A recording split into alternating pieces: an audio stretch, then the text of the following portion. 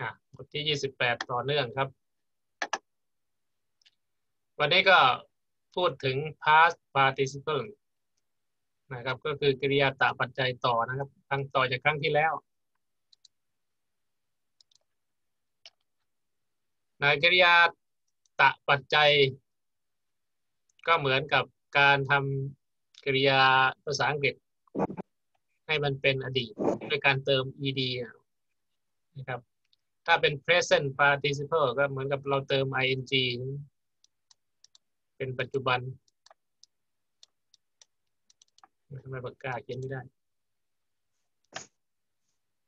นะครับหลุดหายไปไหนละ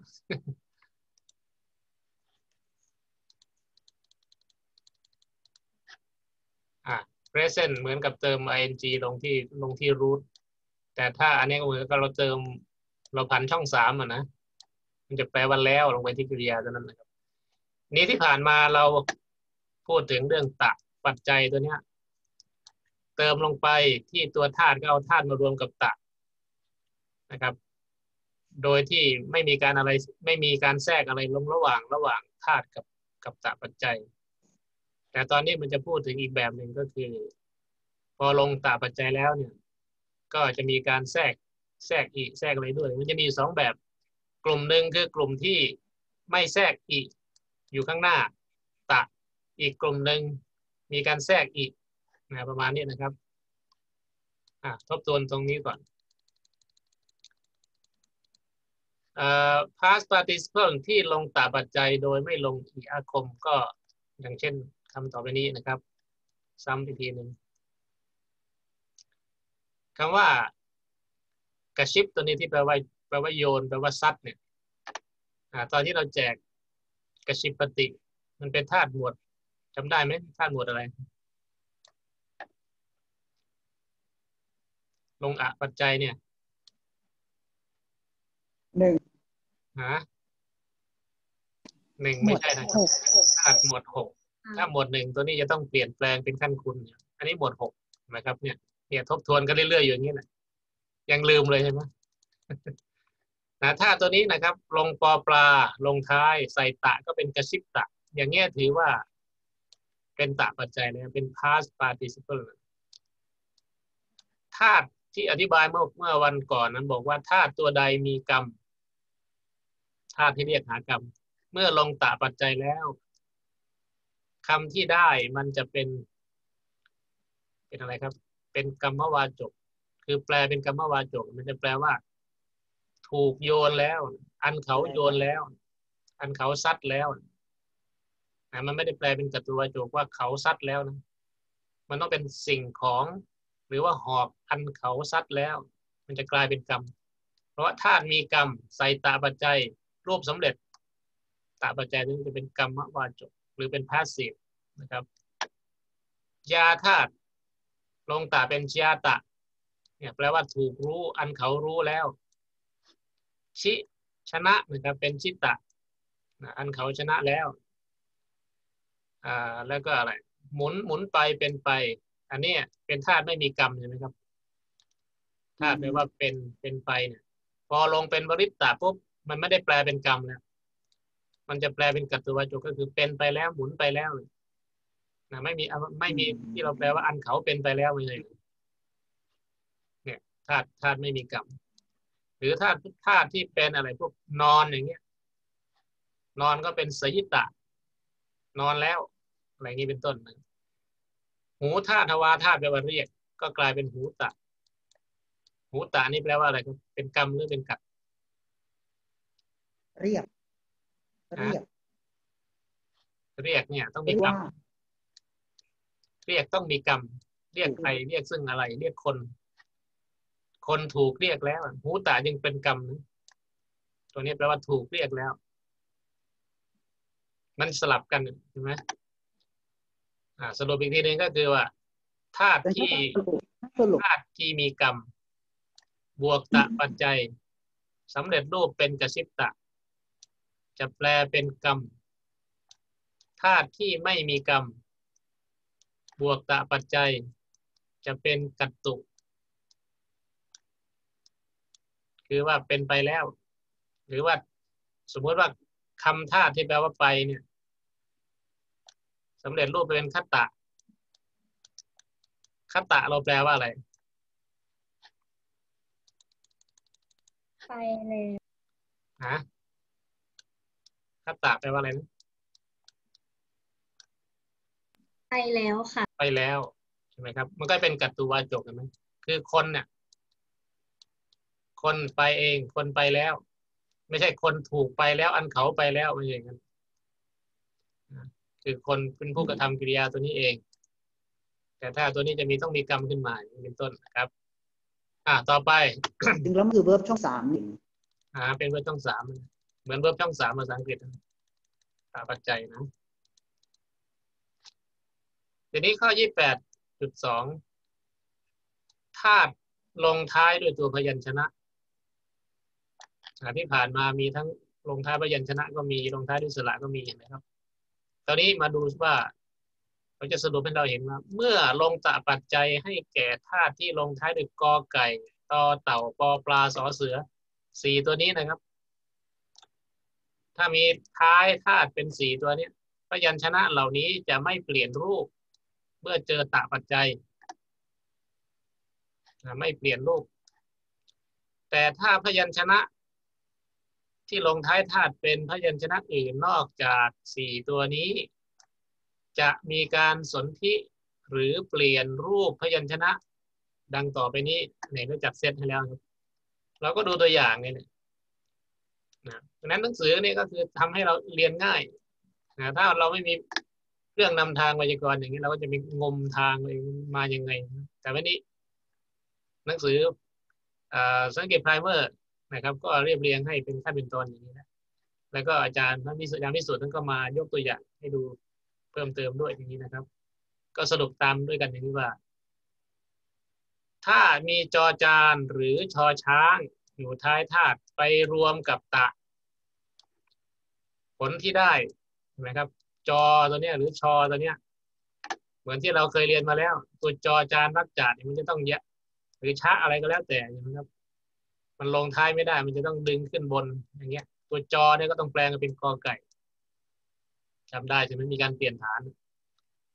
จอเป็นกอหรือตัวชอเนี่ยก็ต้องเลื่อนมาที่ ที่ตัวจอตัวจอก็เป็นกอเหมือนกันเพราะฉะนั้นพอไปบวกตะปุ๊บเนี่ยครับ จอก็เลยเป็นกอ นะจากชอก็ย้ายมาเป็นจอแล้วก็มาเป็นกออยู่ดีเลยได้รูปเป็น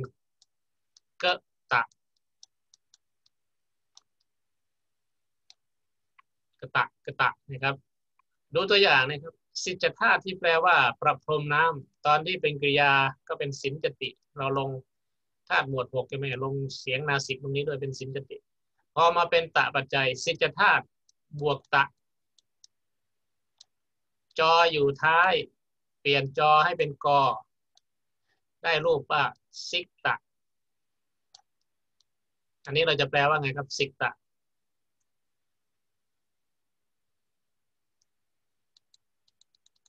นะสิกตะควรแปลว่าไงครับโฟรมถูกพรมถูกโฟรมน้ำแล้ว ถูกนะถูกประพรมแล้วใช่ไหมเนี่ย แปลเป็น passive นะครับ ถูกประพรมแล้ว อย่างเช่นอะไร ต้นไม้ถูกประพรมแล้ว ถูกรดน้ำแล้วอะไรเงี้ยใช้ตัวนี้ ถ้าเราเขียนว่าซิกตะ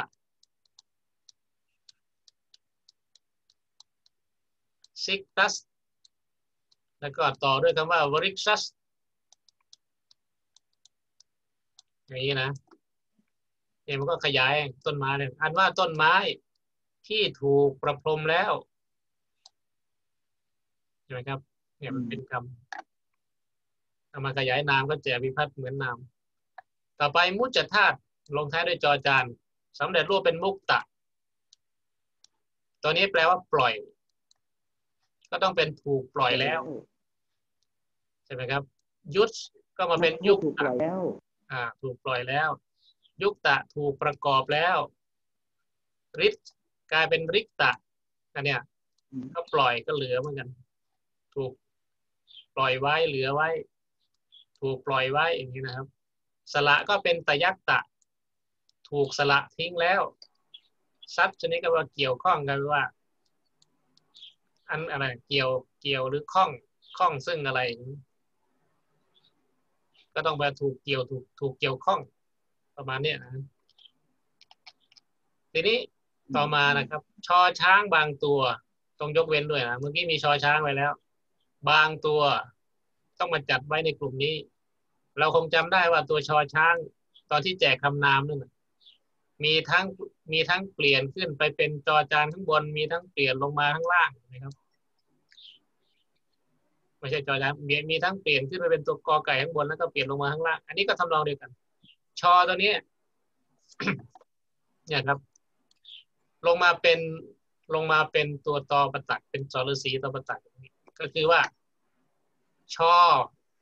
สอสลาสอฤษีชอชิงกอไก่กับสอฤษีกษัตริย์นี่นะครับ ที่อยู่ท้ายธาตุเมื่อไปรวมกับตะแล้วจะได้รูปเป็นสอฤษีตะปัจจัยเดิม ซึ่งเป็นตอเต่าเมื่อมีสรสีอยู่หน้าก็ต้องแปลงตามก็เป็นตอประตักเลยได้รูปเป็นสตะตัวนี้นะครับ มีการแปลงร่างก็คือว่า ช่อจากเดิม แทนที่จะไปเป็นกอไก่ ก็เปลี่ยนทิศทางลงมาเป็นวักตอประตักใช่ไหมครับ ในที่นี้ก็ใช้แทนก็คือใช้ตัวสอสลาแปลงมาเป็นสอสลา ซึ่งเป็นเสียงเสียดแทรกถ้าวักตอประตักเนี่ยก็เป็นเตอะเทอะเทอะเทอะเซอะคือมีสอตัวนี้ นะครับ ดึงมาตรงนี้แล้วก็เป็นดึงเป็นสอสอสอฤาษีอ่าอิสเดิมเป็นอิชติเขาย่อมต้องการ พอไปบวกตาเป็นอิสตะ ตัวนี้แปลว่า อันเขาต้องการแล้วนะเจออิสตาถูกต้องการ อันเขาต้องการแล้วดาริสตัวนี้แปลว่าเห็นสอสลาอยู่ใช่ไหมก็บวกตะเข้าไป สอตัวนี้เปลี่ยนไปเป็นสอฤาษีก็ใส่ตะเข้าไป ตะก็เปลี่ยนไปตามเป็นตอประตัก เลยได้รูปเป็นดาริสตะนี่แปลว่าถูกเห็นแล้ว อันนี้ก็ดาวิสตะถูกเกลียดชังแล้ว มริชะชอช้างนี่ตัวที่ยกเว้นเมื่อกี้ชอเปลี่ยนไปเป็นสรสีตามหลังด้วยตะกลายเป็นตอประตักได้รูปเป็นมริสตะ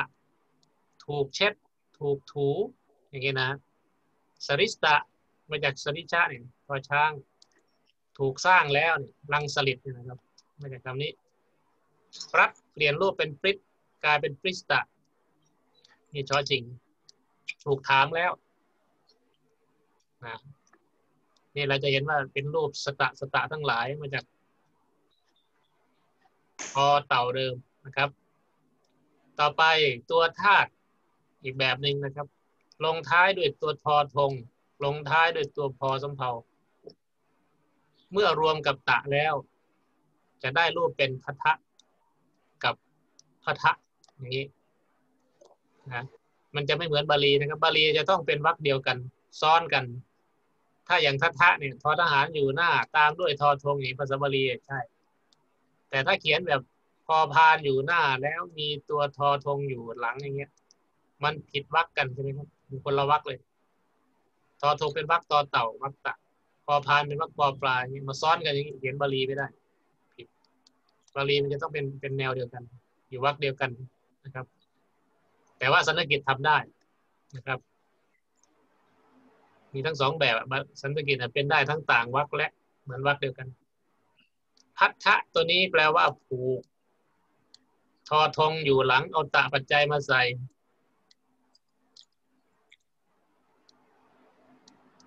ตัวนี้เกิดอะไรขึ้นครับตะ กลายมาเป็นพัทธะได้ยังไงแปลว่าถูก ถูกผูกแล้ว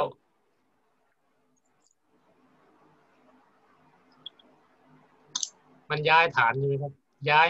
ตัวนี้มาไว้ข้างหลัง พอย้ายมาข้างหลังปุ๊บตัวทอทอทงอยู่นี่ทอทหารอยู่นี่ อทหารเสร็จแล้วก็เสียงตามหลังมันเป็นถอถุงมันไม่ได้ มันก็เลยต้องเปลี่ยนตัวนี้ให้เป็นโคสะเหมือนกันเลยกลายเป็นพัดทะเนี่ยครับ กลายเป็นพัดทะตัวนี้ย้ายย้ายเสียงพัดลมมาทีนี้พุทธตัวนี้แปลว่าตื่นรู้ จริงๆต้องแปลว่า ถูกรู้นะแต่เราก็แปลว่าผู้รู้ก็ได้บางครั้งพระพุทธเจ้า ยุทธต่อสู้เป็นยุทธะอะถูกรบนะครับ ยุทธะบริทธะเจริญตัวนี้ก็แปลว่าเจริญขึ้นแล้วเนี่ยเป็นแปลเป็นกัดนะครับตัวไหนที่ที่บอกไว้แล้วมีกรรมกับไม่มีกรรมได้เลือกเอาะรับได้มาใส่ตะปัจจัยเข้าไป ใส่ตะ ย้ายหอหีบตัวนี้มาไว้ข้างหลัง เสร็จแล้วพอสำเภายังอยู่ พอพอสำเภาก็หอหีบหายไปก็กลายเป็นพอพาน ส่วนตัวนี้จากถอถุงเดิมก็เปลี่ยนไปเป็นทอทงได้ละรูเป็นรับทะที่เราแปลว่าผลลัพธ์ก็คือถูกได้ถูกได้รับแล้วอะสตับตัวนี้สตับกลายเป็นสตับทะนะครับ ก็คือย้ายเสียงพลมอยที่ต่อต่อ อันนี้แปลว่าค้ำจุนแปลว่าหนุนอย่างเงี้ยครับ นี่คือวิธีการเขาอ่าก็ให้สังเกตเอาตรงนี้แหละครับ ก็สังเกตว่าถ้ามันลงท้ายด้วยตัวพยัญชนะอะไร เจอกับตะแล้วเป็นอะไรนะโน้ตไว้สักเป็นข้อๆนะครับอ่าก็สังเกตจากข้างบนนี่ก็คือว่าให้สังเกตว่ามีการย้าย aspiration อ่าย้ายเสียงพ่นลมไปไว้ ไปไว้ตัวหลัง อันนี้เราเคยพูดมาแล้วตอนที่อยู่ในบทที่ยี่ยี่สิบประมาณนี้นะครับ กลับไปยกทบทวนดูได้ ทีนี้ต่อมานะครับ ตัวหอหีบอยู่ท้ายธาตุเมื่อรวมกับตะนะครับ ก็อาจจะมีรูปแบบเป็นสามแนวก็คือหนึ่งนะครับกรณีแรกหอหีบไปเจอตะมันอาจจะกลายเป็นตัวทอผู้เท่าหอเจอตอกลายเป็นทอผู้เท่า เสร็จแล้วตัวเนี้ยข้อสังเกตก็คือว่าถ้าเป็นทอผู้เท่าเมื่อไหร่นะครับ เสียงสระที่อยู่ เสียงสระที่อยู่ข้างหน้าทอผู้เท่าเนี่ยถ้าเป็นสระเสียงสั้นจะทีถ้าเป็นเสียงยาว ถ้าอีก็เป็นอี ถ้าอูก็เป็นอู ยกเว้นสระริคงไว้ตามเดิม ตัวอย่างนี้ครับคาหะ แปลว่า แปลว่าดำน้ำหาคาหะใส่ตะเข้าไปเห็นไหมครับ ตัวนี้มันย้ายกับมาอยู่ตรงนี้ เสร็จแล้วก็เปลี่ยนตัวนี้เป็นทอผู้เท่าแหละนะครับ เป็นทอผู้เท่าก็ต้องเป็นตัว D H ตัวนี้ เลยได้รวบเป็นคาทะเสียงยาวอยู่แล้วเป็นคาทะแปลว่าดำดำลงดำน้ำเลยนะครับดริหะไซตะก็เป็นดริทะนี่เสียงดริไม่ต้องเปลี่ยนนี่เป็นทอผู้เท่านะครับ มุหะแปลว่าหลง หอหีไปเจอตอเต่าได้รูปเป็นทอผู้เท่า กลายเป็นมู ตอนแรกเป็นมุทะแต่ว่าถ้าเป็นสระเสียงสั้นให้ทำเป็นเสียงยาว เป็นมูทะรุหะงอกใส่ตะเข้าไปกลายเป็นรูทะ งอกขึ้นแล้ว ลิหะเลีย เจอทอเจอตอเต่าหอกับตอรวมกันเป็นทอผู้เท่า แรกต้องเป็นลิทะแต่หน้าทอผู้เท่าต้องทำให้เป็นเสียงยาวก็เป็นลีทะ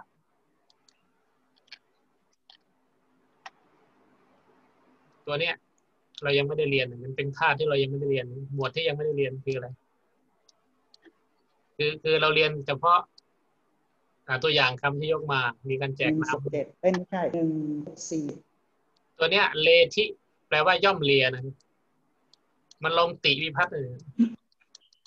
แต่มันมีการเปลี่ยนรูปเห็นไหมเราจะไปเรียนในตอนพาร์ทหลัง เห็นเลทิปุ๊บแปลไม่ออกเลยแปลว่าย่อมเลียได้ไง มันไม่ใช่ติวิพัฒน์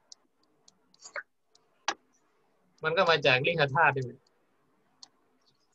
เห็นไหมมันมีมันมีมีการย้ายฐานมาอยู่ตรงนี้ แล้วเกิดเป็นทอพุเท่าเนี่ยที่คุยกับคุณหมอเมื่อกี้ว่าเนี่ยหนังสือเล่มเนี้ยเขาไม่ได้พูดบุ่มบ่าวมันจะพูดให้เรารู้จักลีที่ทันทีเขาเอาไว้ให้เราเรียนลีลีทะก่อน แล้วพอไปถึงการแจกกิริยาตัวนี้มันจะง่ายขึ้น ว่าทอพุเท่ามาอยังไงมันเกิดจากการนี่แหละต่อเต่ารวมกับหอยหีบนี่แหละเป็นทอผู้เท่าพอติปัตมานาเนี่ยตอนนั้นไปถึงแล้วเนี่ยลิตัวนี้ต้องกลายเป็นเลหอย้ายที่เลยกลายเป็นเลที่นะเราจะแปลว่าย่อมเลียได้ อะ เนี่ยนะครับวหาธาตุแปลว่า พาไปแบกไป ตัวนี้ นะครับ เมื่อไปบวกตามปัจจัยวะตัวนี้มีการหดเสียง วะเป็นอุหอไปรวมกับตะก็เป็นทอผู้เท่า จากเดิมเป็นอุทะใช่ไหมครับ อุทะให้ทำเป็นเสียงยาวก็เป็นอูทะเจอคำว่าอูทะเมื่อไหร่เนี่ย ในในสโลกสันสกฤตเนี่ยนึกถึงว่าคำนี้เลยครับ ถูกถูกพาไป ถูกแบกไป อย่างนี้นะ แต่ตัวนี้พิเศษสหธาตุตัวนี้แปลว่าอดทนนะครับ แทนที่จะเป็นเป็นสาสาทะแต่ได้รูปเป็นโสทะนะโสทะตัวนี้แปลว่า อดทนได้ประมาณนี้นี่เป็นรูปพิเศษนะครับ อะทีนี้ต่อไป อันนี้ก็เทียบบาลีให้ดูเฉยตัวทอผู้เท่าตัวเนี้ย ถ้าจะเทียบกับภาษาบาลี อ่า อย่างคำว่ามูทะเนี่ยในภาษาสันสกฤตเนี่ย แปลว่าหลงภาษาบาลีคือมุนหะ หลงแล้วอย่างนี้นะครับวิรุณหะ ในภาษาบาลีก็จะเทียบเท่ากับวิรูทะในสันสกฤตนะครับทอผู้เท่า สันสกฤตมันคือตัวหละตัวละหะ ตัวละหะของของบาลี ถ้าเขียนว่าทอผู้เท่าเท่ากับพยัญชนะสองตัวในได้ยังไงใช่ไหม มันต้องเขียนอย่างนี้ ถ้าทอผู้เท่าเนี่ยเขียนโรมันมันเขียนเป็นเขียนไงเขียนงี้ใช่ไหมครับ ตัวละละของรอจุลาเนี่ยภาษาบาลีคือรอจุแล้วก็หองี้ก็คือละละเหมือนกันอันนั้นมันก็จะต้องต้องเทียบจากโรมันนะครับ เวลาเราเขียนคำว่าอาเดือนแปดเราเขียนว่าอะไรนะอา อาอะไรครับ อาสาร อาสารหะเราเขียนงี้ใช่ไหมอาสารหาบูชา พอเป็นสันสกิตมันเป็นอาสา อาสาทะเพราะนั้นทะตัวนี้กับตัวเนี้ยเทียบกันนะ่ะข้ามไปตรงนี้นะครับอันนั้นดาหะธาตุเผาไปเจออ่านี่อะไรอ๋อลืมข้ามไปตรงนี้ ข้อสองข้อสองหอหีบเจอตอเต่าบางตัวนะครับ ต้องกลับไปที่ธาตุเดิม ต้องดูว่าหอตัวนั้นธาตุเดิมมาคืออะไร ถ้ามาจากเขาเดิมคือตัวคอคอรักคัง นะครับพอไปบวกกับตะปัจจัยปุ๊บมันจะกลายเป็นทะทะ หมายก็ว่าหอหีบของคอควายเนี่ย มันก็ย้ายมาอยู่ที่ตอเต่าแล้วแหละตอเต่าก็เปลี่ยนไปเป็นตัวทอทงเนี่ยนะครับ แล้วก็คอควายนั้นยังอยู่นะเนี่ยครับ คอเจอคอระคังเจอตะได้รูปเป็นคทะดังนี้ก็ได้กัน เช่นธาตุเหล่านี้ครับดหาธาตุเดิมที เดิมทีมันคือดักดักธาตุในภาษาอินโดยุโรป พอไปเจอตะปัจจัยทำวิธีการเดิมคือย้ายเสียงพ่นลมมาข้างหลัง ใช่ไหมครับ มันก็จะกลายเป็นดัก เสร็จแล้วก็ ตัวนี้ก่อนพอย้ายเสียงมาแล้ว แต่มันเข้ากันไม่ได้ มันก็เลยต้องเปลี่ยนตอเต่าตัวนี้ ถอถุงนั่นแหละมีตัวเนี้ย ให้มันกลายเป็นตัวทอทอทงเลยได้รูปนี้นะครับ ให้มันเข้ากับโคสะอันนี้แปลว่าถูกเผา ดิกทะนี่แปลว่า ถูกทา ถูกป้ายเห็นว่าเดทิไหมครับ เดทิเนี่ยแปลว่าย่อมทานะเอลงติปัตมานาวิพัฒน์แต่มีการเปลี่ยนแปลงเห็นไหมครับ อันนี้เราจะไปพูดต่อไปในพาร์ทหลังนะครับ นี่ครับโดกที่นี่แปลว่าย่อม ย่อมอะไร ตัวนี้แปลว่าอะไร ย่อมรีดนมอย่างลูกอาธาตัวนี้นะทำไมจึงเป็นโดกที่ มันบวกติปัจจัยติวัตมานาวิพัฒน์อักขยาเลยนะก็สนที่แบบนี้แหละครับสนที่แบบเดียวกัน ถ้าเจออย่างนี้ปุ๊บมันแปลไม่ออกเลยมันจะย่อมได้อย่างไรมีพัทธิมาจากไหนอะไรเงี้ยนะต่อไปสนิหะแปลว่ารักกลายเป็นสนิทะตัวนี้แปลว่า รักแล้วรักแล้ว ถูกรักแล้วต่อไปครับอันนี้เป็นการเทียบเทียบบาลีไม่เป็นไรเราไม่ต้องเทียบก็ได้หอหีบ นะครับ นอกจากหอหีบบวกตะจะเป็นตัวทอผู้เท่าและเป็นตัวกระทะแล้วนะครับ ในบางกรณีซึ่งมีใช้ไม่มากนะครับ ได้แก่ตัวธาตุเดิมเนี่ยมันเป็นอีกแบบหนึ่งซึ่งไม่ใช่ข้างบน มันก็จะกลายรูปกลายรูปไปเป็นทอทหารกับกับทอธงในกรณีเช่นนหาธาตุตัวนี้ แปลว่าผูกแปลว่านหาตัวนี้นะครับ บวกกับตะ ย้ายเสียงตัวนี้ มาไว้ตรงนี้ เสร็จแล้ว มันมีการเปลี่ยนนะครับ คือมันเป็นทะแล้ว แต่เพื่อให้มันเข้ากันก็เพิ่มทอทหารมาหนึ่งตัวก็ได้กลายเป็นทัทะคือรูปสำเร็จก็เอาตัวนี้เอาไปใช้หะเฉยๆบางตัวไปเจอกระตะได้รูปเป็นทัทะเอาแค่นี้ในที่นี้คือนัททะนี่แปลว่า ถูกผูกถูก ถูกคาดอ่าเช่น ศีรษะถูกคาดถูกรัดอย่างนี้นะครับอะต่อไปถ้าธาตุที่ที่จะนำมาลงตาปัจจัยมีมีรูปแข็งกับรูปอ่อนได้นะครับ หรือบางธาตุที่อาจจะมีทางลดรูปให้เป็นเสียงอ่อนกว่าปกติได้ เมื่อรวมตะปัจจัยก็ให้ใช้รูปอ่อน อันนี้ก็พูดเผื่อไว้เลยนะครับว่าธาตุตัวใดที่เคยลดรูปเป็นเสียงอ่อน ตอนนั้นเราพูดว่าเวลาสร้างกิริยากรรมวาจก มันจะทำให้ธาตุเป็นเสียงอ่อนก่อน แล้วไปบวกยะปัจจัย ตอนที่เราเรียนกรรมวาจกธาตุธาตุตัวนั้นทำได้ให้ทำไปเลยเหมือนกันนะครับ วิธีการทำไง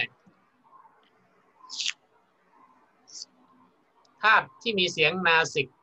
มีเสียงขึ้นจมูกแทรกอยู่ นะครับ อยู่หน้าพยัญชนะตัวสุดท้าย นั่นก็คือเสียงเยอะเสียงทั้งหลายพวกนี้นะครับ เช่นอันเชอะอย่างเงี้ยนะครับหรือดำเชอะหรือพันเทอะอย่างเงี้ยนะครับ อันนี้มีเสียงนาสิกอยู่ทางลิมเปอร์อย่างเงี้ยสินเจอะเมื่อทำให้เป็นเสียงอ่อนได้ก็ให้ทำทำยังไง เวลาทำให้เป็นเสียงอ่อนก็คือลดทำให้เป็นเสียงอ่อนโดยการลบพยัญชนะนาสิก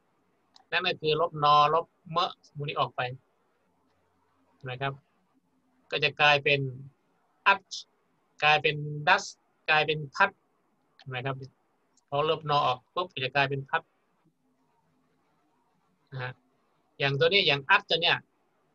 ลบเสร็จแล้วมันบวกตะเข้าไปตัวชอเมื่อกี้ก็เข้าเกณฑ์เดิมชอคงเอาไว้ไม่ได้ ต้องเปลี่ยนไปเป็นจอจาน จอจานอยู่กับที่ไม่ได้ ต้องเปลี่ยนไปเป็นกอไก่ เลยเป็นอักตะ ถูกเจิมนะครับตัวนี้อักตะ ถูกเจิมแล้ว ดังสะลดมอม้าออก เหลือแค่ดัสใช่ไหมครับทีนี้สอสลา มันก็จะกลายเป็นดัสตัวนี้ ไปเจอตะ ปัจจัย สอสลาไปเจอตะ มันก็ไปเข้าเกณฑ์ข้างบนที่เราเรียนมาแล้วว่าสอสลาต้องเปลี่ยนเป็นสอฤาษี ตอเต่าต้องเปลี่ยนเป็นตอประตักตามหลัง เลยได้รูปเป็นดัสตะ ดัสตะถูกกัดแล้ว พัทธะถูกผูกแล้ว ลิปตะถูกทาแล้วเห็นไหมเอามอมาออก เหลือลิปใส่ตาเข้าไปลิปตะ ถูกทาแล้ว ซิกตะ ถูกรดแล้วเนี่ยเอาเสียงนาซีออก เอาเสียงนาซีออกก็คือลดให้เป็นรูปอ่อนสสัมสธาตสรรเสริญกลายเป็นสัสตะถูกสรรเสริญและนี้เป็นต้นนะครับอ่าทีนี้ต่อไปทำรูปอ่อนจากคำที่มียะมีวะ หรือมีปะคำที่มี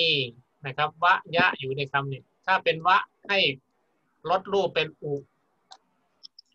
ถ้ามียะก็ให้ลดรูปเป็นอี ตอนที่เราทำกรรมวาจกคล้ายๆกัน ถ้าเป็นคำเป็นประให้เปลี่ยนเป็นปรินะครับ เมื่อบวกตาปัจจัยก็จะได้ดังนี้ครับวิธีการหดลดลงมาอย่างนี้ ถ้าเรียกตามชื่อสันสกฤตของปาดินี้เขาจะเรียกอะไรเขาจะเรียกว่า สัมประสารณะ อันนี้ก็ชื่อจำเอาไว้หน่อยก็ได้นะครับ เรียกว่าไงการการแปลงจากวะไปเป็นอุนะครับมันหดลงไปเนี่ยเขาเรียกว่า สัมประสารณะ จะเกิดขึ้นในคำดังต่อไปนี้นะครับ วัดวับสวับวหะวยัตอย่างนี้นะครับ ถ้าเป็นวะวะวะวะทั้งหลายเหล่านี้ เอาวะมาเป็นอุนะครับ อย่างตัวนี้ก็จะได้อุดใส่ตะเข้าไป จอจานอยู่คงที่ไม่ได้ต้องเปลี่ยนไปเป็นกอไก่ดึงขึ้นบนเป็นกอไก่ เป็นปุกตะ ถูกพูดแล้ว อันเขาพูดแล้ววัปปธาตุแปลว่าหวาน เปลี่ยนวะเป็นปุ๊บ ใส่ปะเข้าไปกลายเป็นปุ๊บ ใส่ตะต่อไปเลยปุ๊บตะ ถูกหวาน ข้าวถูกหวานแล้ว สวับตัวนี้เป็นซุปตะ อันนี้แปลว่าหลับแล้วนะครับ ไม่ได้แปลว่าถูกหลับนะเพราะมันเป็นธาตุไม่มีกรรม นอนหลับแล้ว อันนี้ก็ว่าหาก็เป็นอุ ตัววหาใช่ไหมครับวหาเป็นอุเป็นอุหะ ใส่ตะปัจจัยเข้าไปหาไปเจอตากลายเป็นทอผู้เท่า เสียงสั้นอยู่ข้างหน้า แปลงเป็นเสียงยาวเป็นปูทะ ถูก ถูกพัดไปแล้ว ถูกพาไปแล้ววิทะถูกแทงอันนี้ ตัวยะเนี่ยก็คือเหมือนกันเนี่ยยะ ถึงแม้จะอยู่ตรงกลางนะครับ แปลงยะตรงนี้ ให้เป็นสระอีเพราะฉะนั้นตรงนี้ก็กลายเป็นวิท นะครับ ถ้าเป็นกรรมวาจกอากยานมันจะเป็นวิทยะเตอย่างเงี้ยแปลว่าย่อมถูกแทง แต่ตัวนี้บวกตาปัจจัย ก็แปลงเป็นวิทแล้วก็ใส่ตะปัจจัยเข้าไปใส่ตะใส่ตะปัจจัยเข้าไป ย้ายฐานตรงนี้มาใส่ตรงนี้หอหีบมาอยู่ข้างหลัง เสร็จแล้วก็แปลงเป็นทอทงเลยได้รูปเป็นวิทะ ถูกแทง อย่างนี้นะครับ ยัดก็เป็นอิสอิสตะ ถูกปรารถนาถูกบวงสรวงแล้ว ตัวนี้จะเขียนคล้าย ๆ กับอิจฉาเมื่อกี้นะอิสธาตัวนี้ก็แปลว่าแปลว่าอะไรตัวนี้แปลว่าอะไรเมื่อกี้อิสธาแปลว่าอะไรครับ ต้องการ ต้องการ ครับอิสธาตัวเนี้ย ไปเจอตะปัจจัยเมื่อกี้ที่อธิบายไป กลายเป็นอิสตะ ตัวนี้เหมือนกัน คนละธาตุนะครับ คนละตัว ยัดยัดตัวนี้ ยะแปลงรูปไปเป็นอีได้รูปเป็นอิทไปบวกตะปัจจัย ชอตัวเนี้ย อธิบายตามกฎของชอช้างที่ยกเว้นเมื่อกี้ชอที่อยู่ข้างหลังบางตัวเห็นไหมเดี๋ยวนะให้ดู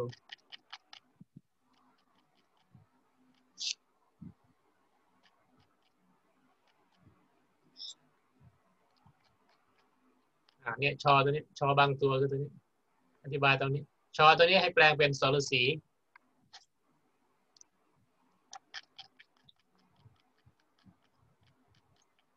ครับข อเลื่อนก่อนอยิ่าเพิ่งตาลายนะ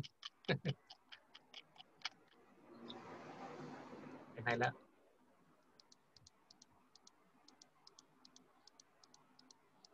อะตรงนี้ครับ ชอตัวนี้ก็แปลงมาเป็นสรสีตอว่าเต่าตัวนี้ก็แปลงมาเป็นตอปตัก เลยได้รวมเป็นอิสตะเหมือนกัน นั้นจะจะเจอคำสองคำในเขียนเหมือนกันเทียบเลย นะอิสตะเหมือนกัน เขียนเหมือนกันเปี้ยแต่ต้องดูว่ามันแปลว่าอะไรนะครับ อาจจะแปลว่า ถูกปรารถนาถูกต้องการก็ได้เป็นที่ต้องการก็ได้ หรือจะแปลว่าถูกบูชาก็ได้ครับ ถ้าแปลเมื่อไหร่แปลว่าบูชาแสดงว่ามาจาก yes ถ้าเมื่อไหร่แปลว่าถูกต้องการ ถูกปรารถนา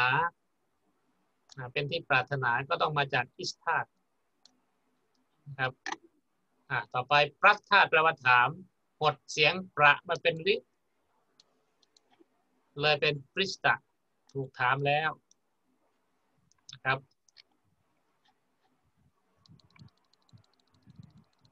นี้ต่อมาธาตุสันสกฤตที่ลงท้ายด้วยสระอา มักจะเปลี่ยนสระอาเป็นสระอี หรืออีก่อนลงตะปัจจัยนี้ครับ คาธาตุสระอาต้องอยู่ท้ายทั้งหมดเลย เมื่อไปบวกตาปัจจัยให้เปลี่ยน R เป็น E จำได้ไหมคาธาตุที่แปลว่าขับร้องเพลง ตอนเป็นกรรมวาจกก็เปลี่ยนเป็นคีสยะปัจจัยใช่ไหมครับ คียเตหรือว่าถูกขับร้อง เพลงย่อมถูกขับร้องทีนี้พอมาเป็นตาปัจจัยก็ตัดยะตัดมีพันพวกนี้ออกคีมานี่แหละจะใส่ตาเข้าไป แปลว่า ถูกขับร้องแล้วนะครับทาท่าตัวนี้แปลว่าวางนะครับ อันนี้แปลงอาเป็นอีเป็นหิตะ ถูกวางแล้วปลาธาตุแปลว่าดื่มเป็นปีตะนะบางตัวเป็นปลาบางตัวเป็นบางตัวเป็นอี บางตัวเป็นอีนะครับปีตะแปลว่าถูกดื่ม มาธาตุแปลว่าวัด แปลว่าสร้างได้สองความหมายนะครับดังนั้นตัวเนี้ย ลายมาเป็นมิตะ มิตะแปลว่าอะไรครับ ถูกวัด ถูกวัดแล้ววัดวัดระยะอย่างนี้นะใช้ไม้บรรทัดวัดนี่แหละมิตะนั่นเองหรือว่าใช้เครื่องวัดอะไรก็แล้วแต่ภาษาอังกฤษก็จะตรงกับคำว่ามิเตอร์นี่นะมั้งมิตะมิตริผู้วัดมิเตอร์ถ้ามิตะถูกวัดแล้ว สถาธาตุแปลว่าตั้งนะถ้าเป็นกัดถ้าเป็นกริยาขยะเป็นติสติ ตัวนี้มีการซ้ำมาอย่างแบบนี้ แต่ว่าสถาตัวนี้ถ้าลงตะปัจจัยแล้วก็เอาอาเป็นอีกก็เป็นสถิตะสถิตก็คือยืนอยู่ยืนแล้วนะครับ ยืนแล้ว ต่อไปครับธาตุที่มีมอหรือนอเป็นตัวสะกด เมื่อลงตาปัจจัยมักจะลบ ออกซะก่อนนะเสียงมอม้าอยู่ท้ายครับคำนำยำรำตัดมอม้าพวกนี้ออกเหลือแค่คะใส่ตะเข้าไปเลยครับคตะนัตตะยตะรัตะนะครับ ไปแล้ว นอบน้อมแล้วข่มแล้วชมเชยแล้วอย่างนี้ตันธาตุแปลว่าแผลก็ตัดนองนี่ออก ตัดนองนี่ออก เสร็จแล้วก็ใส่ตะเข้าไปเลยตะตะแผลไปแล้วมะตะ อันนี้เราคิดแล้วหัตตะแปลว่า ถูกฆ่าแล้วอันนี้อย่าอย่าสับสนนะครับคำว่ามัตตะตัวเนี้ย ภาษาบาลีแปลว่าอะไร ตายแล้วใช่ไหมมัตตะภาษาบาลี แต่มัตตะตัวนี้แปลว่าคิดนะครับ ถ้าตายแล้วสันสกฤตมันจะกลายเป็นมริตะ มริธาตุแถวภาษาบาลีเป็นมรธาตุไปบวกตะปัจจัยตัดตรงนี้ออกเหมือนกันกลายเป็นมัตตะจากนั้นมันจะคู่กันกับชาตะชาตะเกิดแล้ว มัตตะตายแล้วนะแต่ว่าคนไทยก็เอาคำหนึ่งเป็นกริยากิจไปใช้ในเวลาเขียนที่หลุมศพนะครับ เขียนเวลาฝังกระดูกชาตะ แต่ว่าเขียนอีกคำหนึ่งเขียนมรณะ ถ้ามรณะเมื่อไหร่นะมันกลายเป็นนามกิจเลยแปลว่าการตายเลยไม่แปลว่าตายเลยชาตะนี่เกิดแล้วมัตตะต้องตายแล้วได้เขียนให้ดีต้อง เกิดวันไหนใช้ชาตะ ตายวันไหนต้องใช้มัตตะนะไม่ใช่มรณะอะเนี่ยครับมริตะตาปัจจัยตายแล้ว ถ้าใส่อาเข้าไปเมื่อไหร่กลายเป็นอมริตะอมริตะก็แปลว่า ไม่ตาย น้ำอมฤตมาใช้ตรงนี้น้ำอมฤตคือน้ำที่ดื่มแล้วไม่ตายต่อไปนะครับธาตุบางธาตุต้องจำรูปของธาตุโดยเฉพาะมันไม่ มันไม่ไม่เหมือนกับชาวบ้านพูดง่ายๆนะครับ นี่ลงท้ายด้วยสอเสือบวกตะ ตัวเนี้ยแทนที่มันจะคงที่เป็นตะไปเลยใช่ไหมครับ มันน่าจะได้ศาสตตะแล้วนี่แต่ไม่ใช่มันกลายมาเป็นซิสตะ ซิสตะเนี่ยแปลว่า ถูกสอนถูกลงโทษ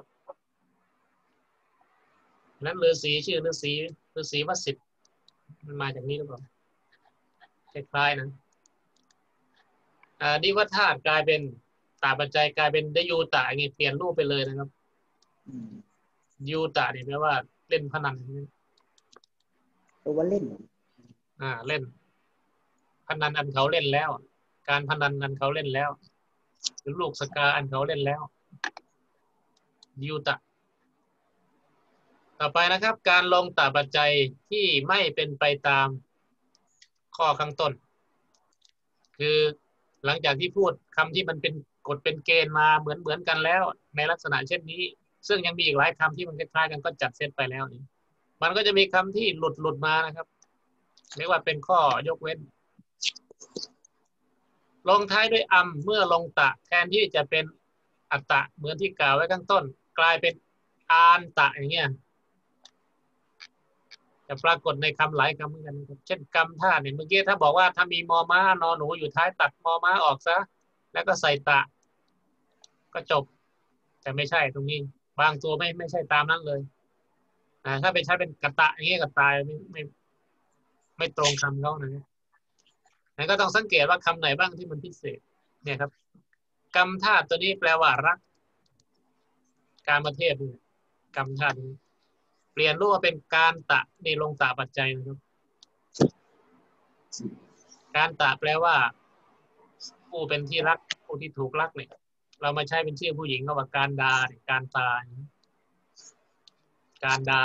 นี่ลงตะปัจจัย การตะ ถ้าเป็นกรัมเก้ากับกรานตะนี่เก้าล่วง ถ้ามีรอเรือนะเก้าเก้าเดินเก้าล่วงเก้าเดิน ถ้ามีอตินี่จะเป็นเก้าล่วงกระสัมแปลว่าอดกลั้น กลายเป็นกระสานตะ อดทนอดกลั้นตำแปลว่าเสียใจก็เป็นตานตะทำแปลว่าข่มก็เป็นดานตะคำที่แปลว่า ซอกแทรกไปวนไปวนมาที่เราเลยเคยแปลกันนี่นะครับ ก็เป็นพรานตะ สัมธาตุที่แปลว่าสงบสอสลากับมอมาเนี่ยครับสัมตัวเนี้ยใส่ถ้าเป็นกิริยาขยายเป็นสามยติจำได้นะย่อมสงบนะครับพอเป็นตะปัจจัยครับ ใส่ตะก็ไปปุ๊บไม่ได้เป็นไปตามกฎเกณฑ์กลายเป็นอานตะ ได้รูปเป็นชานตะที่สงบแล้วนะครับ อีกคำหนึ่งที่มีรอเรือสรัมตัวนี้แปลว่าเหนื่อยสำเร็จรูปเป็นชรานตะอันี่ก็แปลว่า เหนื่อยล้าเหนื่อยอ่อนหมดแรง นั้นสองคำนี้ไม่เหมือนกันนะครับคนละธาตุชานตะชรานตะนะภาษาบาลีจะถือว่าเป็นสมถะคล้ายๆกันสงบสันโตภาษาบาลีสงบแล้วใช่ไหม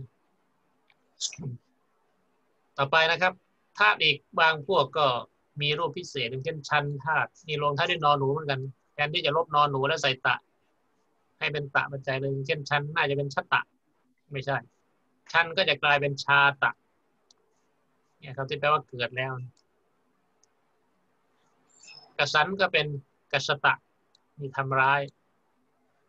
สันตัวนี้แปลว่าได้รับ สันได้รับ ก็เป็น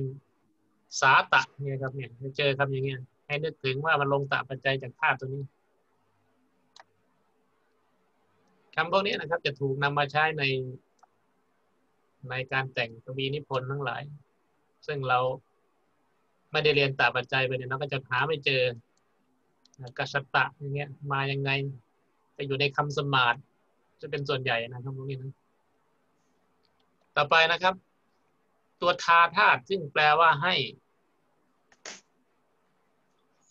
ตัวเนี้ยมีการทำเมื่อลงตาปัจจัยเนี่ย จะได้รูปเป็นรัตตะทำไมเป็นรัตตะ บางครั้งก็เป็นดาตะนะครับ การที่เป็นดัตตะ เพราะว่ามีการซ้ำพยางดาตัวนี้ซ้ำพยางค์คือเอาเสียงนี่มาซ้ำซ้อนกันหนึ่งเสียงกลายเป็นดาดาจากดาดาก็ทำให้มันเสียงสั้นลง กลายเป็นดาดา นี่เรียกว่า reduplication นะครับนี่มันมาบวกกับตะ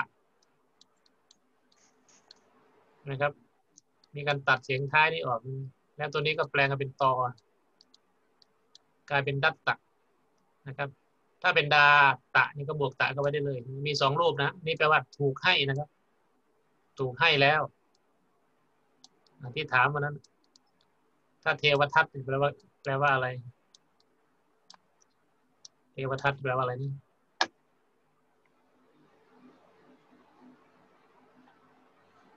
ผู้อะไรครับผู้ถูกให้โดยเทวดา ผู้ที่เทวดาให้มา ถูกให้โดยเทวดาดัตตะ ทีนี้ถ้ามันมีอุปสรรคอยู่ข้างหน้าตัวตัวดัตตะ ตัวเนี้ยมันจะมีการแปลง หรือว่าลดรูปลงไปอีกนะครับ ลดยังไง ประไปอยู่หน้าดาเป็นประดัตตะ ก็ได้ หรือจะเป็นการลดรูป คือมันได้เป็นประดัตตะอย่างหนึ่งประดาตะอย่างหนึ่งหรือบางครั้งก็อาจจะเจอคำนี้ครับ ตัวตัวอะไรเนี่ยประอะไรหายไป เนี่ยตัวตัวทะตัวนี้ใช่ไหมครับ ตัวทะหายไปกลายเป็นปรัตตะนี่แหละครับ ที่เราจะหาไม่เจอ อย่างนี้ยังพอเห็น อย่างนี้ยังพอเห็น แต่พอเป็นปรัตตะปุ๊บที่แปลว่าถูกให้แล้วนี่ใช่ไหมมาจากธาตุอะไรหาให้ปวดหัวสักสามวันก็ไม่เจอ แต่ตอนนี้เรารู้แล้วว่าหายหัวเลยอย่างนี้มันเป็นอย่างนี้ก็ได้ในไวยากรณ์ไฟมือเห็นไหมอย่างที่เราต้องเรียน อันนี้ไปตามเกณฑ์เนี่ยนิดัตตะนิดาตะ อาดัตตะ อาดัตตะ แต่รูป รูปพิเศษเนี่ยครับ ที่ตัดทอทหารออกเนี่ยนะเป็นนิตะอาตตะอนุตตะ ปริตตะใช่ไหมครับ แล้วก็ปฏิตตะอย่างเงี้ยมาจากธาตุนี้ให้เห็นภาพตรงนี้แล้วนะครับ ถ้าเจอคำอย่างเงี้ยย้อนกลับมาดูบทที่ยี่สิบแปดทันทีเลยอันนี้ก็มีสับพิเศษอะไรก็ว่าไปอีกคล้ายๆกันนี้ ต่อไปนะครับธาตุที่ลงตะปัจจัย บางพวกมีการแทรกสระอิเมื่อกี้ไม่มีสระอิแทรกกลางนะครับ ตอนนี้มีแทรกสระอิก็มีเขาก็จัดหมวดให้เรางี้ครับ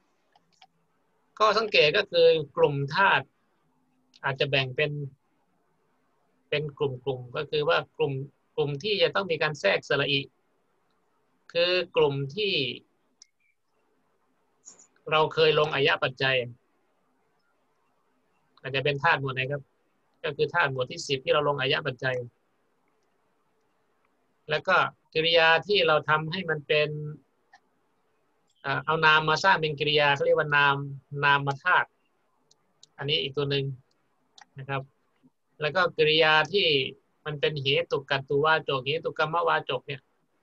ที่มันลงอายะปัจจัยเหมือนกันเนี่ย เห็นไหมครับ ที่เราพูดถึงในบท น่าจะเป็นบทที่เท่าไหร่บทที่สิบหรือเปล่าพูดถึงกิริยาเหตุกัตตุวาจก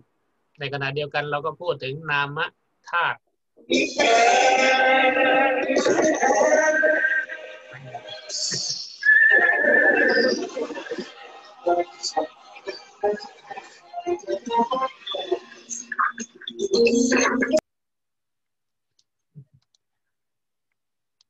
อ่า อ่ากลุ่มนี้จะต้องเติมอีลงข้างหน้าตัดเราไปดูตัวอย่าง ต่อไปกลุ่มที่สองก็คือธาตุที่ขยายรูปธาตุมาจากธาตุเดิมแล้วก็เปลี่ยนเป็นรูปใหม่ เช่น ชิตัวนี้นะครับไม่ได้แปลว่าชนะนะครับมันมันแปลว่ากระตุ้นต่อมาได้เปลี่ยนรูปนี้เป็นชินวะอะไรเงี้ยนะเป็นรูปธาตุพิเศษนั่แหละครับ หรือหิงสธาตุตัวนี้ที่แปลว่าเบียดเบียนหิงสาเนี่ย หิงสาเนี่ยนะครับซึ่งถือว่าเป็นธาตุที่ขยายรูปจากรูปเดิม จากหันธาตุมาเป็นหิงสะธาตุประเภทอย่างเนี้ยจะต้องเติมอิลงข้างหน้าตะปัจจัย เช่นคำว่าชินจากเดิมชินะครับ มาเป็นชินวะมันมีพยัญชนะอยู่สองตัวเรียงกันอยู่นี้มันก็เลยต้องแทรกอีกมา กลายเป็นชินวิตะนะชินวิตะ แปลว่าถูกเบียดเบียน หรือหิงสาตัวนี้เดิมทีมาจากหันมันเปลี่ยนเปลี่ยนรูปเป็นหิงสะนะครับ หิงสะก็เอาตามาใส่ก็แทรกอีกมาเป็นหิงสิตะ อันนี้ก็ถูกเบียดเบียน อันนี้ก็อยู่ในในกลุ่มนี้นะครับถ้าอยากดูรายละเอียดในหนังสืออาจารย์นิสุทธ์ท่านไปค้นมาจากเรื่องนี้นะของมิดนี่นะครับ เรื่อง root verb form เนี่ยพวกนี้ อันนี้ก็เล่มนี้นักศึกษาควรจะต้องมีนะ อันนี้ก็ grammar ของวินนี่ก็มีสองกับ root verb form ใช้ได้หลายเล่มประกอบกันนะครับ อะต่อไปนะครับธาตุอีกกลุ่มหนึ่งที่ลงท้ายด้วยพยัญชนะตัวเดียว หรือพยัญชนะซ้อน และจะออกเสียงลำบากหากใช้หลักที่กล่าวมาข้างต้น เพื่อเลี่ยงหรือปรับเสียง หรือการกลมกลืนเสียงที่ทำได้ยากในบางกรณีจึงต้องมีการแทรกอีกลงมาพูดง่ายๆว่าถ้ามันมีพยัญชนะซ้อนอยู่สองตัวอย่างนี้ถ้าเอาตะไปใส่เลย มันจะเกิดการซ้อนเสียงพยัญชนะหลายเสียง เขาก็เลยแก้ปัญหาด้วยการเติมอีกมันปิดหมดแล้วนะพี่กลายเป็นลัดชิตะนะครับแทนที่จะเป็นลัดชอมาเจอตอเนี่ยมันซ้อนกันหลายตัวนะกลายเป็นลัดชิตะทีนี้มาดูตัวอย่างที่พูดถึงว่า กลุ่มที่เป็นอายะอายะทั้งหลายเนี่ยนะครับ มันจะต้องเอาอีมาแทรก เช่นว่าธาตุหมวดสิบเนี่ย ตอนที่เรียนธาตุหมวดสิบปัจจัยของธาตุหมวดสิบคืออายะปัจจัยอยู่แล้วใช่ไหมครับฉะนั้นกสารธาตุจุรธาตุตัดธาตุปีรธาตุปูจธาตุในธาตุหมดสิบหมดเลย เวลาเอาอายะปัจจัยมาใส่ มันก็จะเป็นกสาระยติ อายะปัจจัยสังเกตว่ามันจะเป็นกสาระยะ เข้ากิริยาของอาขยานเป็นอย่างนี้ทีนี้เมื่อลงตะปัจจัยทำไง เขาก็บอกว่าให้เอาเขาของกิริยาที่ลงอายะปัจจัยนี่แหละ มาใช้งานโดยตัดอะไรครับ ตัดอายะออกไปเอาอายะออก คือสร้างคำโดยอายะก่อน เพราะฉะนั้นมันจะไม่ได้รูปนี้ เนี่ยถ้าเป็นกระสันเอาตะมาใส่เลย ก็ไม่ได้นะครับ แล้วก็มันต้องแปลงรูปให้มันเป็นกระสานการที่เป็นกระสานแสดงว่ามันบวกอายะมาก่อนนะครับ ผ่านกระบวนการสร้างคำแบบนี้ก่อน จากนั้นจึงเอาอายะนี้ออก ได้เป็นกระชาลจึงมาใส่อิตาเข้าไป กลายเป็นกระสาลิตะ แกระสาลิตะก็แปลว่าถูกล้างแล้ว จุรธาตุมาเป็นโจระยะเอาอายะออกไป ได้รูปเหลือโจระโจระนะครับ ใส่ตะปัจจัยก็แทรกอีลงมา ตามกฎอายะพวกนี้นะครับ ในกลุ่มธาตุกลายเป็นโจริตะ แปลว่าถูกขโมย ถูกลักขโมยแล้ว ตาดายะตัดอายะออกกลายเป็นตาดิตะ นะสอีตาเข้าไป ปีดิตะถูกถูกเบียดเบียน ปูชิตะถูกบูชาเนี่ยครับปูชิตะ เราก็มาสร้างชื่ออะไรปูชิตบูชิตใช่ไหมผู้อันเขาบูชาแล้ว นี่นะครับอ่าเนี่ยเนี่ยก็คือพวกคอสเทปก็ลงอายะปัจจัยทั้งหลายก็ทำในกรณีเดียวกัน ทีนี้นามธาตุ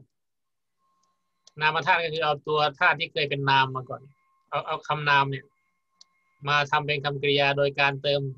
อายะลงเข้าไป จากคณะใส่อายะก็กลายเป็นคณะยะ ถ้าเอาไปแจกคำกริยาก็จะเป็นคณะยติ เขาย่อมนับนี่นะ ทีนี้เมื่อจะทำให้เป็นตาปัจจัยก็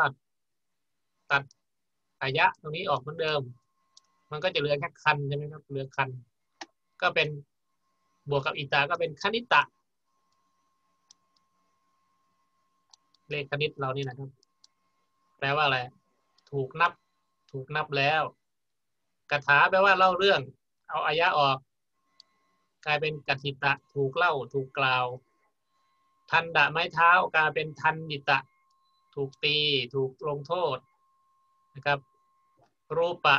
นะครับ รูปแบบเนี่ยรูปยติเนี่ย แสดงรูปก็มาเป็นรูปิตะนะครับถูก ถูกทำให้อะไร ถูกทำให้ปรากฏอะไรนี้นะถูกทำให้เป็นรูปเป็นร่างนี้นะครับอะต่อไป กิริยาที่เป็นเหตุกัดทั้งหลายก็คือลงอายะปัจจัยเหตุกัดเหตุเหตุกรรมตรงนี้ก็คืออายะเหมือนกันกลุ่มนี้คำธาตุถ้าคัจจติเป็นเขาย่อมไปถ้า คำมายติก็แปลว่ายังให้ไปเห็นไหมครับ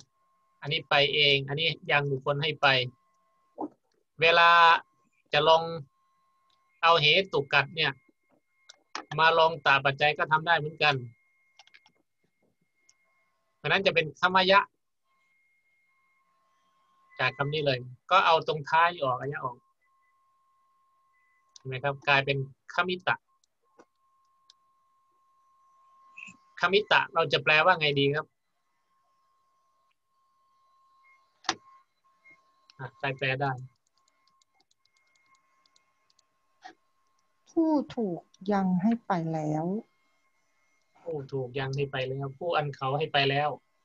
ใช่ไหมผู้ผู้อันเขายังให้ไป ผู้อันเขาให้ไปแล้ว คือคนคนนี้ถูกให้ไป จะต่างจากคัตตะใช่ไหมคุณหมอ อันนี้กัตตุวาจบเขาไปแล้ว ถ้าเป็นคมิตะ เขาคนเนี้ยถูกให้ไป มันจะมีความหมายเป็น เป็นการีดหรือเป็นคอสติฟเนี่ยเหมือนกันเนี่ยครับ จากเหตุกัดก็จะมาเป็นเหตุกรรมในลงเวลาลง ลงตาปัจจัย ถูกให้รู้ ถูกให้เกิดใช่ไหมเนี่ยชนิตะ ถูกให้เกิดพายิตะ ถูกทำให้กลัวปาติตะถูกทำให้หล่นลงมา ถ้าปัตตะเฉยๆแปลว่าตก นี่นะ ปัตตธาตุปฏิตะธรรมดานี่ตก ตกแล้วถ้าปาติตะเห็นเสียงมันปาติตะ ถูกทำให้ตกลงมา มันมันผ่านการกระบวนการเหตุกัดมาแล้วเนี่ย เสียงข้างหน้ามันจะเป็นขั้นคุณหรือเสียงยาวปาติตะ ขั้นคุณหรือขั้นพืชขั้นพืชปาติตะมารธาตมารยเตย่อมตาย มารยติยังบุคคลให้ตาย พอเป็นมาริตาก็คือเขาถูกทำให้ตาย คนน่ะ ถูกทำให้ตายคาติตะ เขาถูกฆ่า เขาถูกทำให้ตาย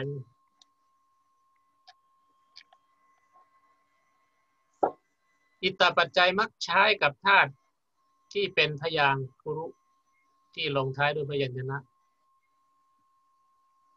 ได้แก่ธาตุที่มีสระเสียงยาวแล้วยังลงท้ายด้วยพยัญชนะหรือธาตุที่ หรือธาตุที่มีสระเสียงสั้นหมายว่าไงครับอิตาปัจจัยมักใช้กับธาตุที่เป็นพยางคลุที่ลงท้ายด้วยพยัญชนะ เสียงคลุลงท้ายด้วยพยัญชนะ ได้แก่ ธาตุที่มีสระเสียงยาว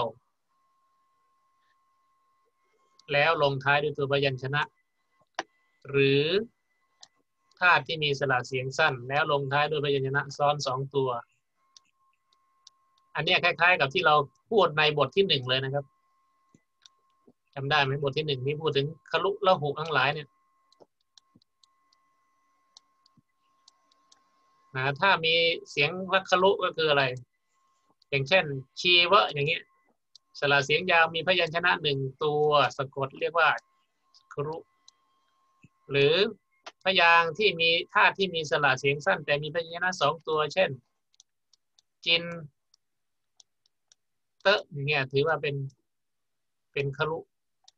นะครับจินเตะมีพยัญชนะสระเสียงสั้น แต่มีพยัญชนะสองตัวอยู่ท้ายเรียกว่าครุ แต่ถ้ามีสระเสียงสั้น แล้วก็มีพยัญชนะตัวเดียวอย่างนี้ เป็นละหูนะจิตกับจินเตอร์จิตตัวนี้เป็น เป็นเสียงเบา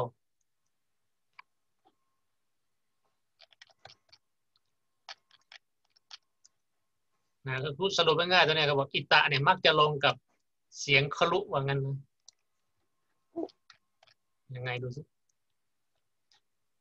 อีกชะสละ เสียงยาวมีพยัญชนะกระชะ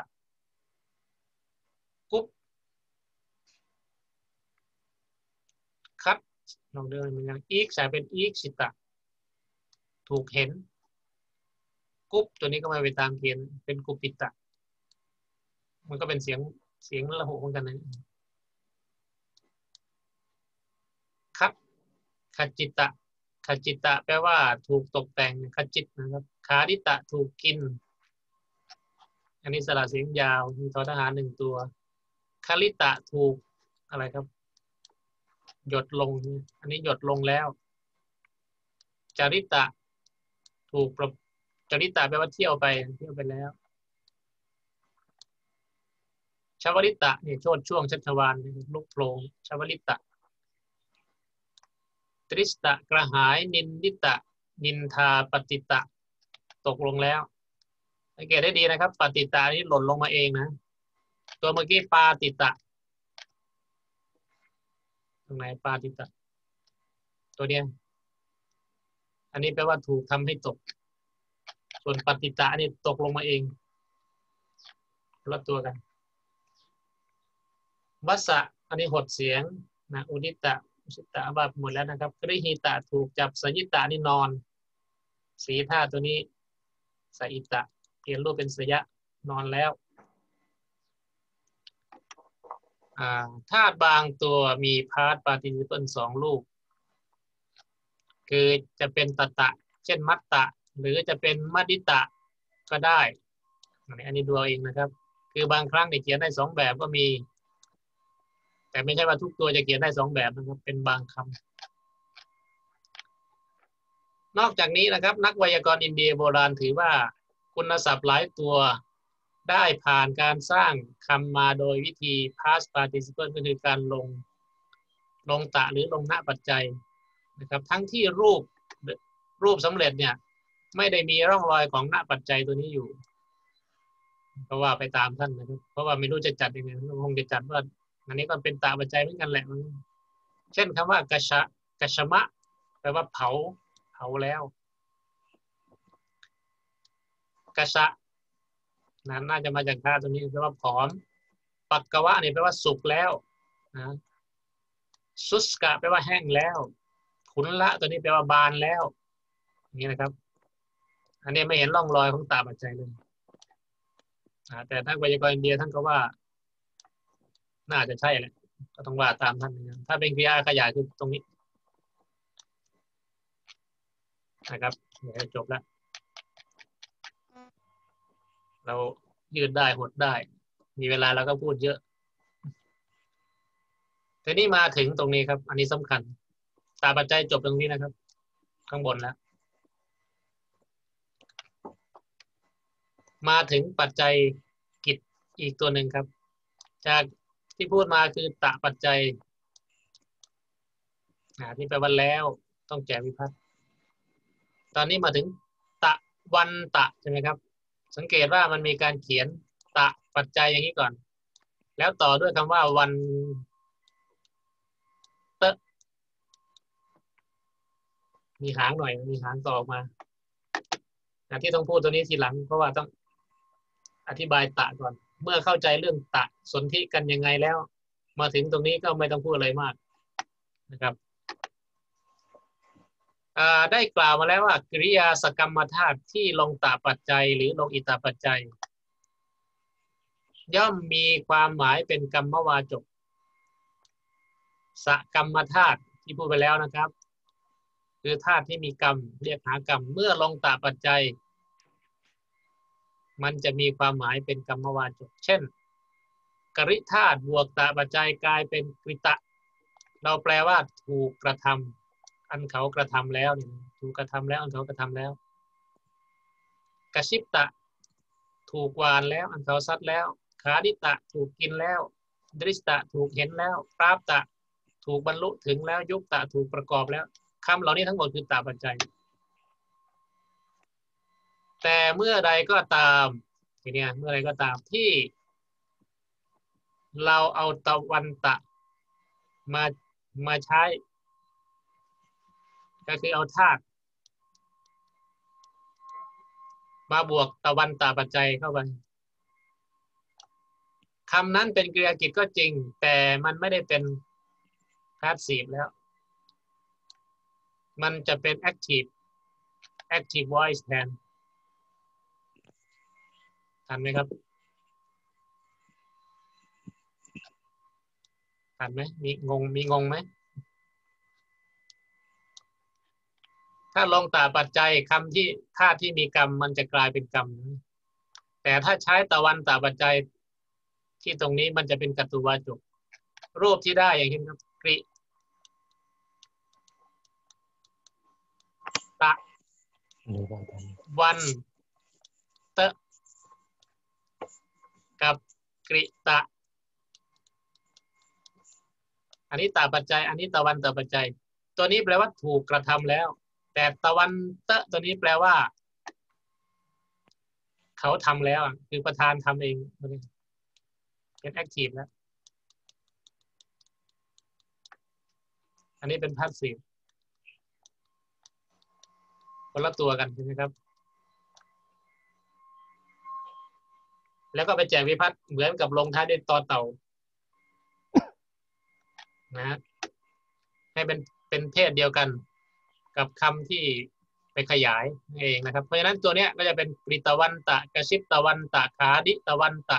ดริสตะวันตะใช่ไหมก็คืออะไรดริสตะวันตะ คือบวกวันตะเข้าไปนั่นเองวันตะวันตะต่อท้าย ก็จะกลายเป็นไม่ใช่ถูกกระทำนะไม่ใช่ถูกแล้ว ไม่มีถูก ก็แปลว่าทำไปเลยซัดเลย กินเลยบรรลุถึงประกอบเลยนะครับเพราะฉะนั้นไอ้คำว่าถูกถูกๆเนี่ยตัดทิ้งหมด เมื่อบวกตะวันตะเข้าไปนะครับ ตัวอย่างเนี่ยครับเนี่ยกรีตะวันเตอร์กระชิบตะวันเตอร์เนี่ยก็เขากระทำแล้วเขาซัดไปแล้ว นอกจากจะลงตะวันตะปัจจัยเพื่อทำเป็น active นะก็จะเรียกว่าตะกี้เป็นเป็นอ่า past passive นะตอนนี้มันจะเป็น active past participle นะครับ บางครั้งก็มีนวันตะ นั่นก็คือ ไม่ต้องงงคำว่าณตัวนี้กับตะเนี่ยมันธาตุบางตัวที่เราพูดมาแล้วว่าตะ ปัจจัยบางตัวก็ใช้ณใช่ไหมครับณแทนที่ก็ใช้ณไปในตำแหน่งที่มันเคยเป็นณนะครับ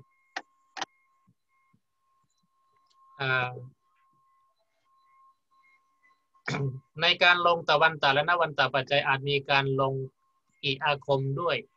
แล้วก็ให้เปรียบให้เปรียบเทียบกับการลงอิตะนะครับ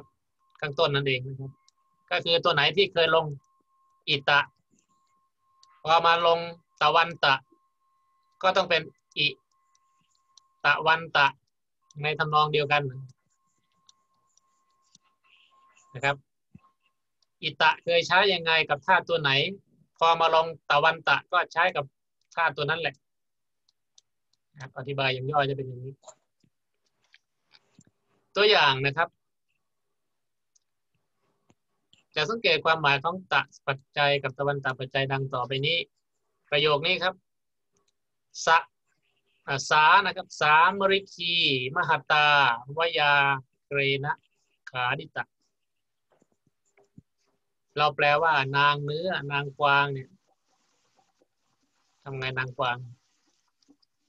นางกวางตัวนั้น อาจารย์ก็ยังไม่เสร็จสอนอยู่ ทำอยู่อาจารย์ใจลงมาแล้วเหรอ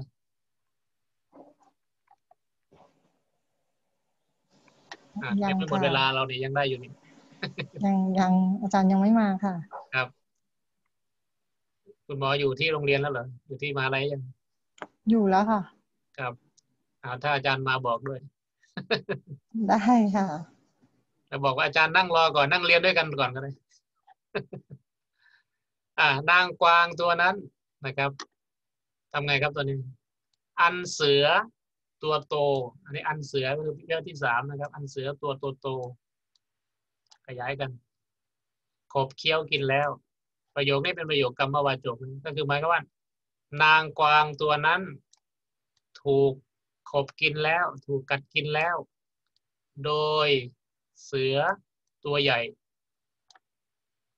อันนี้เป็นอะไรครับตาปัจจัยใช่ไหมครับ ถูกไหมขาที่ตาเป็นปัจจัยอะไรครับ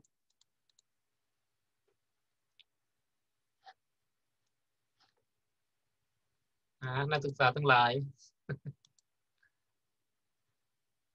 ขาที่ตาเป็นตาปัจจัปัยจอะไรจัยครับฮะตาปัจจัยตาปัจจัยถูกต้องครับ เพราะฉะนั้นมันเป็นอิทธิลิงสตรีลิงใช่ไหมมันขยายมาลาคีมาลาคีเป็นสตรีลิง ตัวนี้ก็เลยต้องเป็น สระอานะครับ ถ้าเป็นสตรีลิงเมื่อไหร่ตาปัจจัยนี่เติมสระอาเข้าไป แจกตามเสนานะครับเนี่ยนางเนื้อถูกกินโดยเสือทีนี้ประโยคนี้ครับอาหัมวยากรัสตามบริคีม ขาดิตวานวยาเทนะหตะ เนี่ยเริ่มเป็นหลายแบบแล้วอาหัมก็คือเอาไม่ใช่อาหัมอ่านผิดนะเมื่อกี้อายัมอายัมนี่ขยายอะไรครับ ขยายวายาครัสวยาครัสนี่แปลว่าเสืออายัมก็ตัวนี้ที่เราเรียนมาแล้วอายัมตัวนี้ เป็นไงครับเสือตัวนี้เสร็จแล้วก็เซตนี่ครับ เสือนี่เป็นเพศชาย กริยาตัวเนี้ยเป็นกริยาตะวันตะปัจจัยนี่ครับเมื่อกี้ขาดิขาดิตะข้างบนเนี่ย มันเป็นตะปัจจัยเห็นไหมแต่พอบวกตะวันตะปัจจัยปุ๊บมันจะเป็นขาดิตะวันเตะ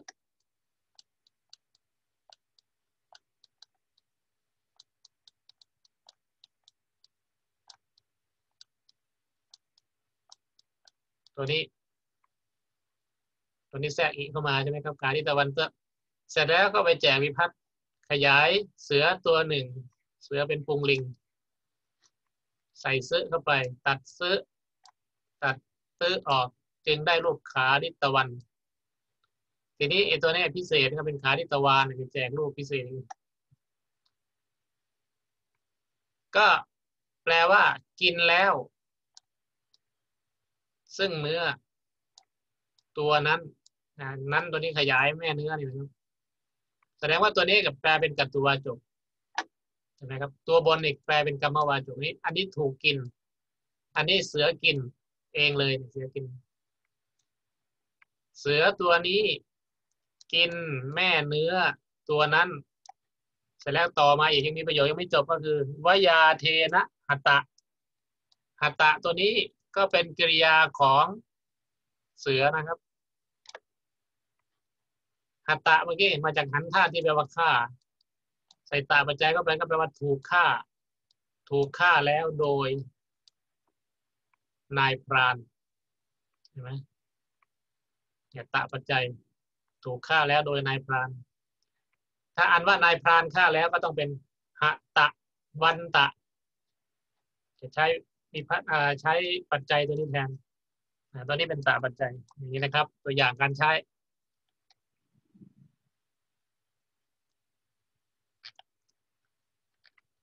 อีกสักประโยคนี้ครับเดี๋ยวนะเอาประโยคไหน ประโยคง่ายๆ อ่าเนี่ยก็ได้อันนี้มาจากนโลปาขยานเนี่ยนะมาจากมหาในมหาภารตะยกตัวอย่างมาจากโน่นนะครับ ประวิสันตัมจะมามตัตระนะกัสจิตดริสตวานนรหะ นะครับประวิสันตัมอันนี้อันตาปัจจัย ขยายมามปีพัทที่สองนะครับตัตะที่นั่นนะกัสจิตเนี่ยไม่มีใครนารานี่ก็คนใช่ไหมครับดาริสตะวานตัวนี้ก็คือดาริสตะวันตะเมื่อกี้นะที่ตรงตะวันตะปัจจัยนั้นก็จะแปลว่าอะไรไม่มีไม่มีคน ผู้ใด ก็คือไม่มีใครไม่มีบุคคลคนใด เห็น เห็นแล้วนี่คือคนที่เห็นนะไม่มีใครเห็น ซึ่งข้าพเจ้า ผู้เข้าไป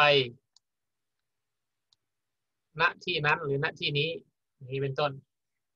อันนี้ใช้ในกรณีเป็นกริยาอ่าเหมือนกับกริยาหลักของประโยคเลยนะครับตะวันตะ อีกสักประโยคหนึ่งนะครับเนี่ยอันนี้เตนราคนเหล่านั้น โจริตวันตะ ถ้าโจริตะแปลว่าถูกลักขโมย ถ้าตะวันตะก็คือลักเองเลย คนเหล่านั้น ลักแล้ว ลักอะไรลักซึ่งดอกไม้ ในเทวาลัยเดวกรีเฮอ่านี่ประธานคือคนนารานะครับ ใช้โจริตวันตะเนี่ยเป็นกริยาของนาราเลย เสร็จแล้วก็ คริฮีตาหะนะคระปาเลนะนี่มีพระที่สามคริฮีตาตัวนี้มาจากคริหธาตุที่แปลว่าจับลงตาปัจจัยก็ว่าพวกคนเหล่านี้ที่ลักขโมย ดอกไม้ในเทวาลัยนั้นถูกจับแล้ว โดยใครครับ พวกนครบาลโดยนครบาลคือคนรักษาเมือง อันนี้ตาปัจจัย อันนี้ตะวันตาปัจจัยนี่จะใช้ ใช้สลับกันอย่างนี้ก็ได้นะครับ คือมันสามารถเป็นกริยาเป็นกริยาหลักของประโยคได้เลยก็ได้เนี่ยประโยคมันจะซับซ้อนขึ้นมาอีกอริสุกุลตาลกระซิบตะวานก็แปลว่าคนนะครับ คนหรือว่าเขาเนี่ย ซัดแล้วเนี่ยถ้ากระซิบตะเฉยๆแปลว่าถูกซัดใช่ไหมหอกถูกซัดแต่ถ้ากระซิบตะวานเป็นกริยของคนก็ต้องคนซัดไปแล้ว ซึ่งหอกทั้งหลายที่ฆ่าศึกทั้งหลายครับกรณีเดียวกันนะครับ ตะวันตาปัจจัยเนื่องจากมันเป็นกริยากิจ มีการแจกรูปเหมือนคำนาม ถ้าจะใช้คู่กับพวก verb to be เนี่ยเอา verb to be มากำกับเนี่ยก็จะเป็นการที่ถูกต้อง จริงๆแล้วมันจะต้องมีนะครับ แต่โดยอนุโลมก็คือว่าไม่มี verb to be ก็แปลเป็นกริยาหลักได้เช่นเดียวกัน อย่างประโยคอย่างเงี้ยมารดาของเขาเนี่ยตัสยมาตา บรรลุถึงแล้วเนี่ยถ้าปราบตะวันตีเนี่ยเป็นเพศหญิงก็ใส่สระอีเข้าไปที่ตะวันเตะบรรลุถึงแล้วป็นช้ำซึ่งความลำบากเนี่ยถ้าไม่มีพระวันตินะ แต่ถ้ามีพระวัติเข้ามาเนี่ยก็บอกว่า มารดาของเขาเป็นผู้บรรลุถึงนะครับ เป็นผู้บรรลุถึงแล้ว ซึ่งความลำบากเนี่ยการมี verb to be กับไม่มี verb to be กำกับ ถ้าไม่มีก็ไม่ต้องแปลว่าเป็นก็แปลเป็นกริยาเลย ถ้ามีก็แปลคำว่าเป็นเข้ามากำกับนะครับอะอันนี้ก็ศัพท์นี่ไปดูเองได้นะครับ แปลว่าอะไรเรียนรู้หลอกลวงแต่งตัวผูกคาด เขาข้ามให้ไปอ่านเอาเองก็แล้วกัน ก็จะมีศัพท์ที่จะพูดถึงเมืองต่าง ๆ อินทรปัตก็จะยกตัวอย่างในประโยคอย่างเงี้ยครับ มีเรื่องราวเงี้ยนี่เริ่มแต่งประวัติศาสตร์ได้แล้วนะครับให้สักข้อดูสินะไหนก็ในไหนๆแล้วสีมโต ราช ราช ราชยาสัมมตัย เรสัมมตัยเรพิสกวิธิริสตานิบสูนิลับทานินี่กตาปัจจัยนี้เห็นสักคำไหมครับเนี่ยอันนี้แอปเลทีฟก็แสดงว่าเป็นวิพัฒน์ที่ห้าลาชนะก็ต้องมีวิพัฒน์ที่ห้านะครับสัมมัตตะสัมมัตไตบวกกับเอพิส แล้วก็กวิพิสมาสูนี้ มีท่านใดทราบประธานอยู่ตรงไหน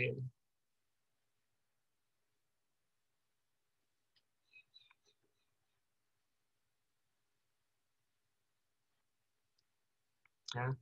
มีใครทราบไหมประโยคนี้แปลว่าอะไร สีมัตตะแปลว่าอะไรครับ สีมัตตะ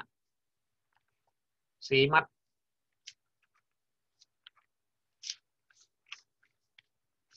ผู้มีชื่อเสียงเจริญนะผู้เจริญผู้ผู้มีเกีมียรติเสียงนะผู้มีเกียรติขยายราชาสัมมัตตะนะครับสัมมัตไตสัมมัตไต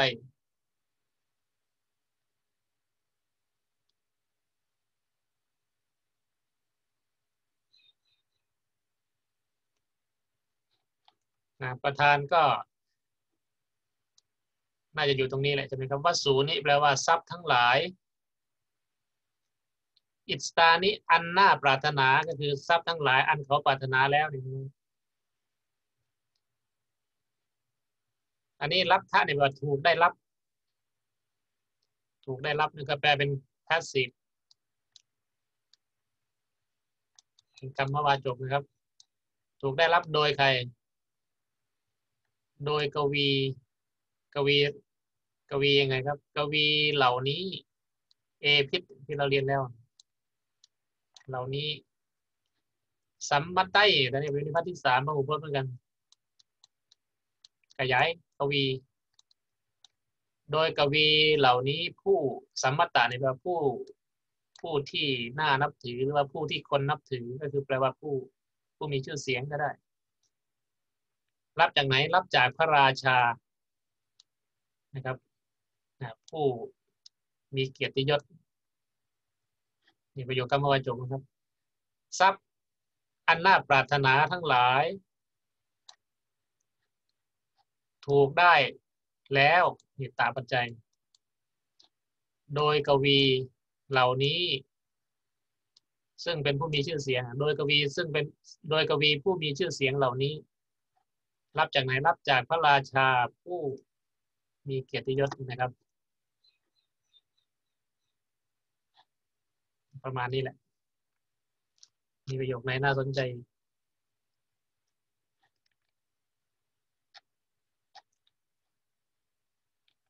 อ่าอันนี้ประโยคเนี่ยยาวๆนี่อุดีจยาดิโซนี่เป็นพัฒน์ที่ห้าจากทิศเหนือ ยะวะเน ยวเนสุ อาคัตชัตสุ นี่เป็นวิพัฒน์ที่เจ็ดพระหูพจน์นะเยาวเนสุคือพวกเมื่อพวกเยาวนะครับ พวกเยาวนะคือพวกโยนกหมายถึงพวกกรีกเอกษัตริย์กรีก เมื่อพวกกษัตริย์กรีกทั้งหลาย อาคัตจัดสุวิพัฒน์ที่เจ็ดพากันยกขบวนมาแล้วกำลังมา อันนี้เป็นอันตรปัจจัยปริธิวิราชาอันว่าพระเจ้าปริธิวิราช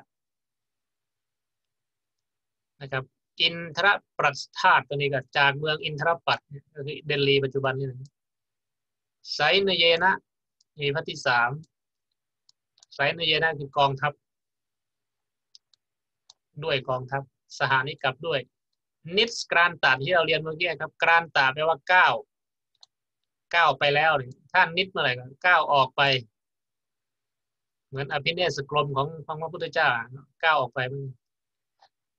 ครับประโยคนี้นะครับ เขาบอกว่า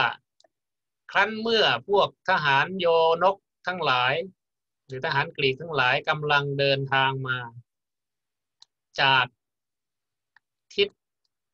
เหนือ อันว่าพระเจ้าปิธิวราช ได้เสด็จออกไปแล้วกับด้วยกองทัพ จากเมืองอินทปัต นะส่วนเรื่องจะเป็นยังไงตอนต่อไปนี่ไปแปลเองนี่ก็เรื่องข้อความต่อกัน หมดเวลาแล้ว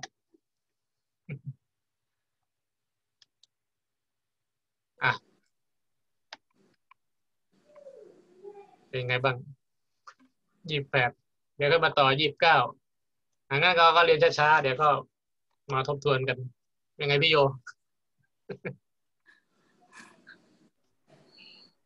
อะพี่หมวยงงหนักเหรอะยากค่ะยากค่ะไม่เป็นไรเราเรียน เอางี้ตกลงกันแล้ว เราคุยกันว่า เราจะเรียนสามสิบแล้วเราจะทบทวนอีกทีหนึ่งมัธยมก็จะจบในเทอมเนี้ยเทอมหน้าก็ไปต่ออุดม แล้วก็ ครับผม บทที่สามสิบเอ็ดเนี่ยก็ ในกลุ่มปริญญาโทเนี่ยเขาจะไปเรียนอีกคอร์สหนึ่งใช่ไหมทีนี้เราจะเรียนสามสิบเราจะย้อนย้อนสอนมาทำแบบฝึกหัดทุกคนต้องทำแบบฝึกหัดให้ดูอ่า ถ้างั้น ถ้างั้นไม่แตกฉาน เราจะไม่ข้ามไป งงอีกแล้วอ่าเราจะเรียนผมว่าเราจะย้อนมาทำแบบฝึกหัดตั้งแต่บทไม่ที่ไม่ย้อน ไม่ย้อนแต่แรกหรอกก็ย้อนตั้งแต่บทที่ยังไม่ได้ทำนี่แหละสิบห้าอ่า เป็นต้นยี่สิบมานี่แหละใช่ให้มาถึงบทที่สามสิบแล้วก็จะไปยกเอาตัวอย่างจากที่อื่นๆมาให้เราแปลกันบ้างนะส่วน ไวยากรณ์ตอนต่อไปคือบทที่สามสิบเอ็ดเนี่ยเดี๋ยวยกไปเรียนเทอมหน้า ในรายวิชาแต่งแปลสันสกฤตแล้วอย่างอุดมศึกษาที่พวกหมวยจะต้องลงนี่คือลงยังไงคะอาจารย์ก็ไปเรียนไปเรียนร่วมกันเทอมหน้านะเอามัธยมมาพ้นก่อนเอามัธยมไปพ้นอ๋อให้ไปเรียนอุดมกับกลุ่มอย่าเพิ่งไปไกลนะเดี๋ยวก่อนดูก่อนว่าถ้าเทอมปิดจะช่วงปิดเทอมเนี่ย สะดวกก็จะสอนให้ก่อนอืมอ่า สอนพอไปเข้าสอนหัดหัดแปลหัดอ่านก่อนอ่าพอไปเข้าง่ายไปไปเข้ารายวิชาของเทอมหน้า ปริญญาโทก็ถ้าอาจารย์จิพัฒน์สอนก็ต้องสอนวิชาแต่งแปลก็ อาจารย์ก็จะได้สอนต่อด้วย แล้วก็เอ่อพวกพวกมัธยมอาจจะไม่ได้ไปไปจอย ก็จะสอนให้ต่างหากอะไรอย่างเงี้ยนะอะค่อยคุยกันนะครับ ครับนั้นเอาสามสิบบทให้เก่งก่อน หวังอย่างนั้นนะ ผมอยากอะเปิดกล้องก่อนถ่ายรูปก่อน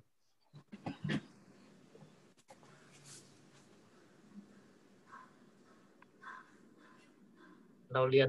เราเรียนยืดหยุ่นได้ไม่เป็นไร ยืดได้หดได้ โอเคครับงั้นก็เจอไปเรียนของอาจารย์ขเดิอบมคุณครับ สวัสดีครับอาจารย์ ครับสวัสดีครับขอบคุณค่ะอาจารย์สวัสดีครับสวัสดีพี่ๆทุกท่านด้วยค่ะครับหมวยอย่าลืมส่งการบ้าน เรื่องนี้จัดจงเลคยรับวันนี้หมวยพี่โยพี่แอนครับผมค่ะอาจารย์ใครเจอหน้าทวงแต่แบบฝึกหัดการบ้านนี่โอเคครับหายากหน่อยไม่เป็นไรนี่เนี่ยเสน่ห์มันอยู่ตรงนี้แหละ